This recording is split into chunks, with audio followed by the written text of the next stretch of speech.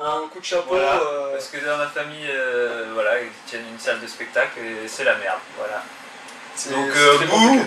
C'est nul Le- Bouh, le- le la distanciation, on peut pas la respecter dans une salle de concert, ça c'est clair. Et nous imposer ça fait que bah, les salles ne peuvent pas tenir. Ouais. Voilà. Et le souci, c'est que Ah, bah, nous, on peut pas Et ça, c'est pas du sale, hein. Ah non, on peut pas se produire. on peut pas se produire. Euh, bon, nous, on travaille en sous-marin en ce moment, donc euh, ça ne nous touche pas directement. Mais si ça continue comme ça, oui, euh, ça nous retardera encore plus. euh. Ouais.